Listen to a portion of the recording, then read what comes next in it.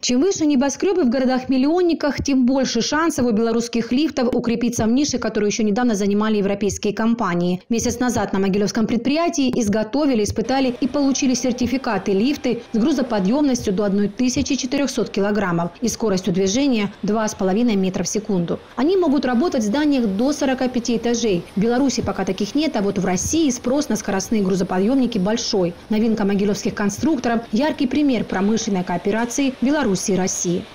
Мы очень плотно работаем с Российской Федерацией. Оттуда мы берем в основном материалы, металл, некоторые комплектующие, ну а дальше добавляем все свое. И поэтому мы говорим, что лифт наш практически белорусско-российский.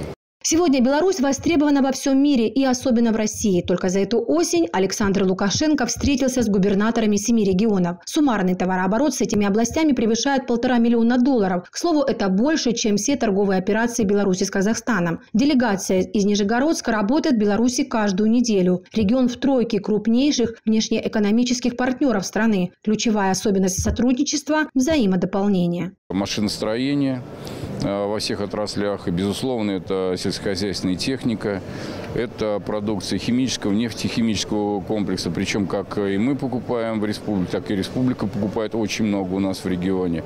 Активно развивается взаимодействие в сфере IT-технологий, совместные проекты уже существуют. Для того, чтобы продуктов под брендом «Сделано в союзном государстве» становилось больше, проводят специальные международные форумы по импортозамещению. Первый из них состоялся в Могилеве. Здесь на площадке представлено 60 участников. И продукт здесь можно не только увидеть, потрогать руками, но еще отправить отправиться на промышленную экскурсию и узнать, как его создают.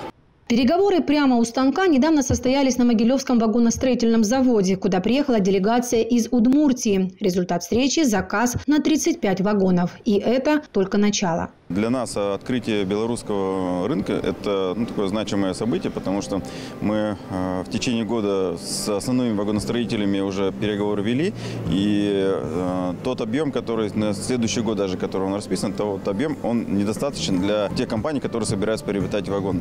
И в этом случае вот Могилевский вагоностроительный завод, он как палочка-выручалочка оказался для нас, и, соответственно, мы сегодня здесь для того, чтобы подписать соглашение. Основная задача форума – найти точку точки соприкосновения малых и средних предприятий для того, чтобы их э, совместная деятельность могла двинуть их э, финансово-экономические результаты вперед.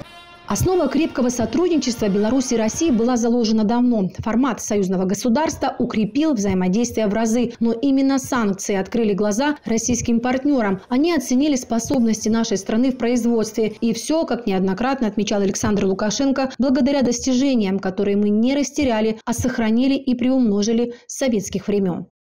Мы очень востребованы, очень. Иногда разворотливости не хватает. Отсюда мое жесткое такое требование чиновничьему аппарату по тем или иным направлениям. Если вы следите э, в СМИ по...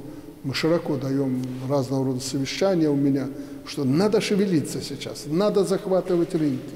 Главное сейчас время, время, время, время. Пока оно работает на нас, но так не всегда будет.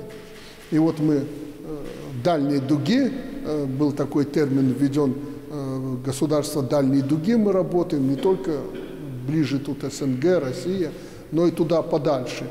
Э, ринулись в Африку, и мы обнаружили, что нас там ждут. Нынешний тренд внешней политики – Африка. За этим континентом, как неоднократно подчеркивает глава государства, будущее. Цель сотрудничества выходит далеко за рамки товарооборота. Мы поддерживаем государства африканского континента в борьбе за независимость и избавление от статуса сырьевых придатков, которые так долго навязывали США. Александр Лукашенко предлагает идти в Африку с российскими коллегами. Основа для производства есть, тоже со времен СССР. Советский Союз, как говорят наши специалисты, допустим, по Африке, э, в свое время сделал огромный задел, создал огромный фундамент и базу для нынешнего сотрудничества постсоветских республик и прежде всего Беларуси и России на том континенте. Они нам доверяют больше, чем кому. Нам надо этим э, воспользоваться, продвигая свои интересы поддерживать развитие и африканских, и азиатских стран, которые нас там ждут давно. Нам надо вместе здесь поработать. Для нас время возможностей. За последние два года о маленькой Беларуси большой мир говорит так часто, как никогда. И дело не только в политике. География экспорта нашей продукции растет и сегодня охватывает свыше 140 стран. А это, считай, почти весь мир. Юлия Мычкова, Василий Лосенков, Могилевская область, СТВ.